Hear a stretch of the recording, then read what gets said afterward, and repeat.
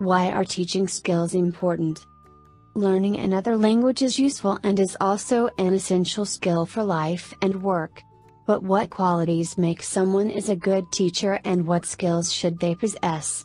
A good teacher needs to have qualities such as caring about teaching, having a passion for learning, and having professional knowledge of their fields of teaching. Teaching methods. Firstly, the methods most commonly used by good teachers include how to properly manage a class, how to effectively engage students in learning, how to make the activities more meaningful, and how to prepare the suitable materials and methods to match the class you are going to teach.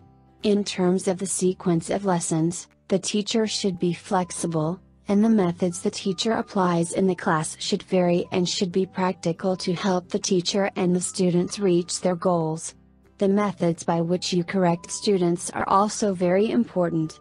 If the correction is applied in an appropriate manner, it will help the students to overcome their anxiety or other negative problems they may have. The more correct methods you utilize, the more effective your teaching techniques will be. Body language. Secondly, the gesture, the tone, and eye contact of the teacher are important to build a positive rapport with the students. A good teacher shows the correct gesture, tone, and eye contact. In return, the students will be more likely to contribute and take part in the lesson and will be more attentive to attract students to pay attention to the lesson.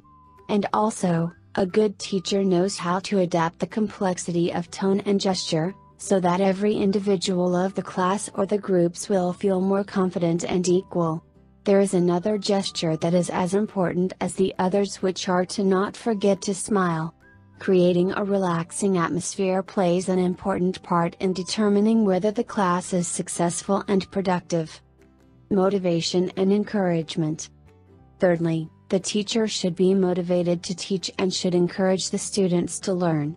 An experienced teacher knows the best ways to help the students achieve. As a result, the students will be more motivated to learn and will be encouraged to express themselves in creative ways.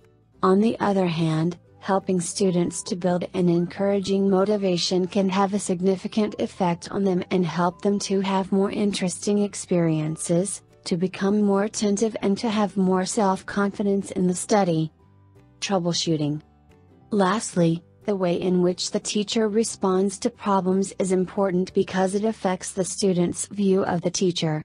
It is inevitable that there may be different kinds of problems while teaching adults or younger students.